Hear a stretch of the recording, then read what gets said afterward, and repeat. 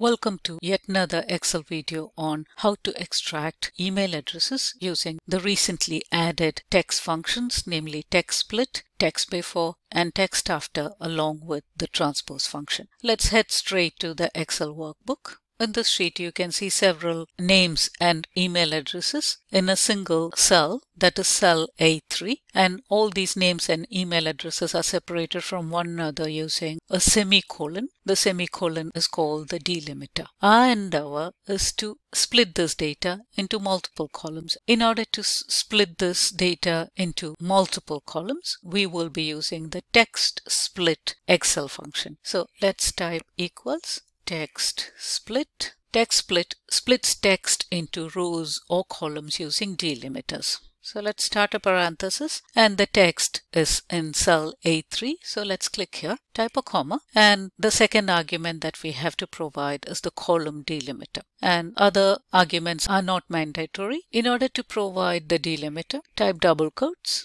type a semicolon and double quotes. Semicolon is our delimiter because that separates the individual items. Now let's close parenthesis and press enter.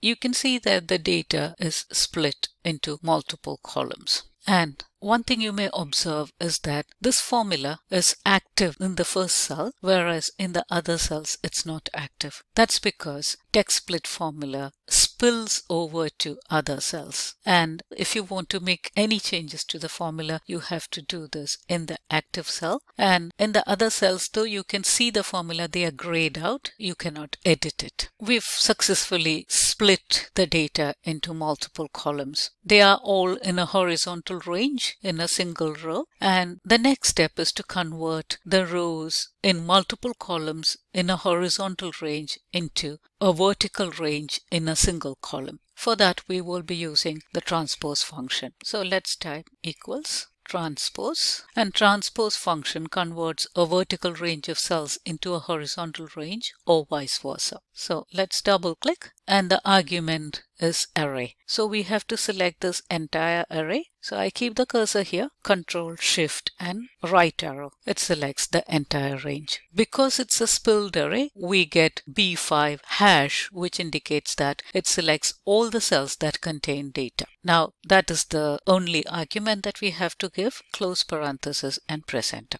Now what you see is that the entire data has been transformed from a horizontal range into a vertical range. In order to extract the email address, we have to extract all the data after this less than symbol. So we use text after to extract all the data after the less than symbol. Let's type equals text after.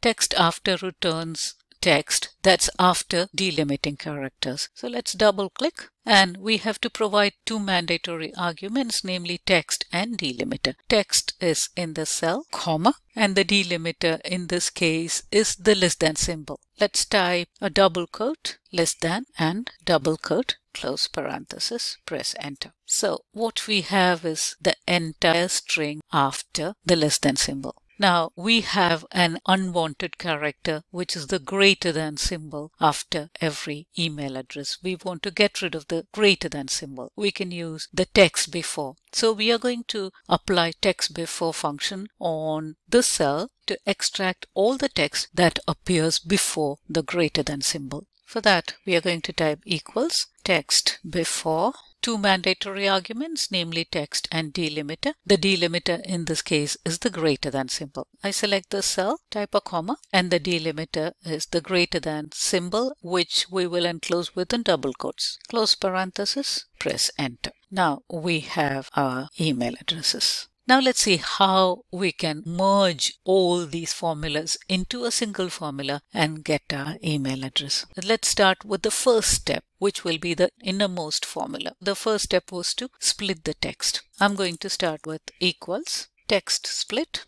Text split requires text and column delimiter. The text is A3 and the column delimiter is semicolon, close parenthesis. The next step is to transpose. So to the left of text split, I'm going to type transpose. We are going to transpose the result of the text split function. So I'm going to enclose the text split formula within the transpose formula. The third step was to use text after. So to the left of transpose, I'm going to type text after. Text after requires the text. The text is the result of the transpose and the text split function. And we have to provide the delimiter. The delimiter in text after is the less than symbol. So let's type a comma and type less than within double quotes. Let's close parenthesis. The next step was to use text before on the result of these formulas. So let's type text before and the text that is used in this case is the result of all these formulas and this requires the delimiter as the second argument. So let's type a comma and the delimiter in this case is the greater than symbol. Let's start with double quotes, greater than double quotes, close parenthesis. Let's see how this formula gets executed. The innermost bracket will be executed first, that is the text split. So text split will give this result and on that result transpose function will be executed. So we get this result. And after that text after will be executed on the result of text split and transpose. And we get this result. On that text before will be executed. And press enter. And we get our email addresses. So we've successfully extracted email addresses using split text, transpose, text after and text before text split, text before and text after are available only in Office 365. Hope you found this video useful. If you like this video, please click on the like button and share this video with your friends and colleagues and people who are interested in learning new tips and tricks in Excel. Our channel has a lot of useful content. Please subscribe to our channel. And while subscribing, please remember to click on the bell icon and choose the all option so that you shall get notified as soon as we upload new contents in our channel. We thank you very much for your continued patronage and support. See you again with yet another video. Have a great day.